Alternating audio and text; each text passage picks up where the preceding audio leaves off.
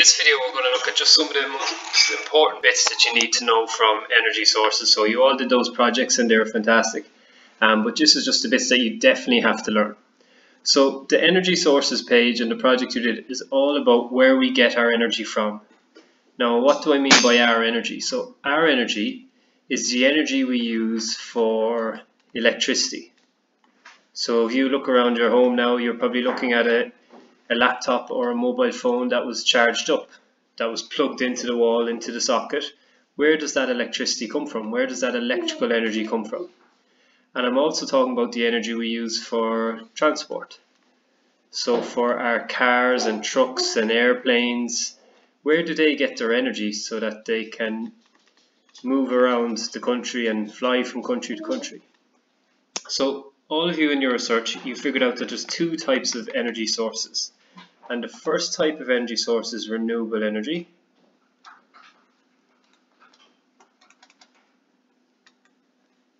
And the second type of energy source is non-renewable energy. Now the definition for these are actually really important and you have to be careful in the words that you use. So for renewable energy, you cannot say energy that can be used again and again. The definition for renewable energy is an energy source energy source that will not run out. So make sure you have this definition in your copies. Will not run out. And non-renewable energy sources are energy sources that will run out. So you then need to know the different types of renewable and non-renewable energy. So there's lots of different types of renewable energy. There's wind, solar, and make sure this is all in your notes, hydroelectric, geothermal, and there's another one called biomass. Now hydroelectric can be split into two. It can be split into using rivers, um, but there's also one called tidal as well, where they use the tides coming in and out to generate electricity. And non-renewable energy sources then are coal, oil, gas, and nuclear. So sometimes nuclear is considered renewable, but it's actually not. There's lots and lots of nuclear fuel there. Hydrogen is used for nuclear fuel, but it will run out eventually, but technically it's not renewable, even though you could never really see us using all the uh, hydrogen that's there. Now coal, oil and gas are known as the fossil fuels. And that's because they take millions and millions of years to develop and they actually come from fossils. They come from the, the remains of things that lived millions and millions of years ago, like plants and trees that lived uh, a very long time ago. So the advantages, the big advantages of uh, renewable, the big advantages of renewable is that they do not produce CO2. And CO2 stands for carbon dioxide. So that's a really important advantage that you have to learn. And there's different advantage for each one as well, which I got you to research in your project and are in your textbook. But that's one that I really want you to focus on today. They do not produce CO2. Nuclear energy also does not produce CO2.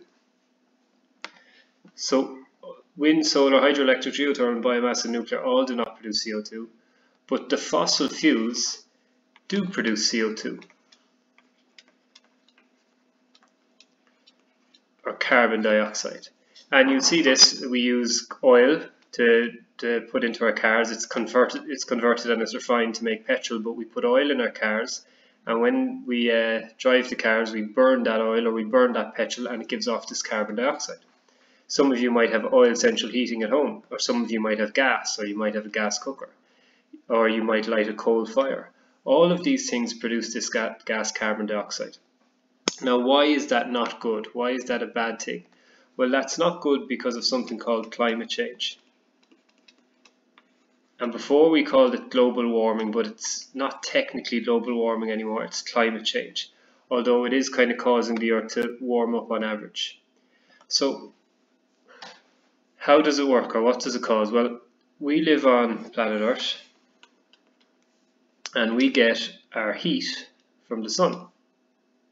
So the heat from the sun, heat rays, they're called infrared rays, travel from the sun down to Earth and they warm up the Earth. Now, around us we have an atmosphere and that atmosphere kind of acts like a blanket. And what it does is it lets some of the heat from the sun escape, but it also traps some heat from the sun. So we have all this heat from the sun coming in, some of it escapes and then some of it is trapped. And at the moment, it's the perfect blanket. It keeps our Earth the exact right temperature that it needs to be for life. Um, so everything that's evolved on Earth, all the living animals that live on Earth, they all are very well adapted and suited to the temperature that the Earth is at right now. When we add in CO2, what we're actually doing is when we burn fossil fuels is we're making this blanket thicker. So it's no longer the perfect size blanket. It's now like you're, you have a really, really heavy, thick blanket on you in the middle of the summer. It's trapping too much heat. So what's happening is all the heat is starting to be trapped in the atmosphere because there is too much CO2. And that's causing the average temperature the, of the planet to heat up. Now, why is that a problem? Well, in the last kind of year, say in the last kind of 40 years, the planet has increased its temperature by about 1 to 1.5 degrees Celsius. And that doesn't sound like a lot, but that has lots and lots of big problems. One thing that that's starting to do, or starting to cause, is it's starting to cause the polar ice cap caps to melt. And that's bad for lots of reasons, and one reason is that it's destroying habitats for polar bears, penguins, all of these things, they've no place to live because the, their habitat that they live in and that they've evolved in over hundreds of thousands of years is starting to disappear. But it's also causing sea levels to rise because all that ice that's trapped in the North and South Pole is now flooding into the sea and that's causing the sea levels to rise by up to up to one meter already. But they're going to continue rising or sea levels will continue to rise as these ice caps continue to melt. And that's a problem for lots of cities that are kind of near the sea. Dublin for instance is really low level and by the sea. London um, lots of big cities in Asia, in Bangladesh in particular. And there's millions and millions of people who are living in these areas and they no longer will be able to live there as the sea levels rise. Another thing that it's causing is it's causing deserts to get bigger.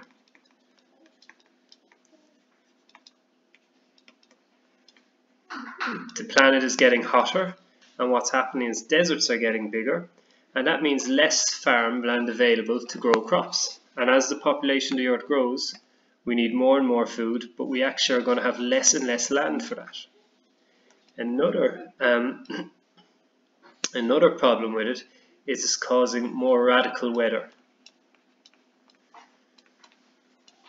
So what's happening is we're getting much bigger storms, much bigger hurricanes, and obviously these are very very dangerous as well and it's also causing weather seasons to shift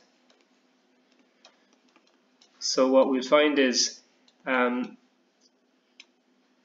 birds for example are returning when birds fly away from the winter and when they return in the summer um, they're returning a little bit too early because the weather is that little bit more warmer now and when they return early it seems like there mightn't be any problem, but the, the flowers and the plants that they usually use to eat, those flowers and those plants haven't come into bloom yet. So they're returning early, but the food that they usually eat isn't actually ready yet. So all of these things are really, really big problems. And it's all due to producing, or us producing carbon dioxide. So that's the big disadvantage for fossil fuels. And that was one thing that looking at your projects, we just need to make sure that all of you are fully aware of. So burning fossil fuels produces CO2 and CO2 leads to climate change. And these are just some of the many, many problems that can come from climate change.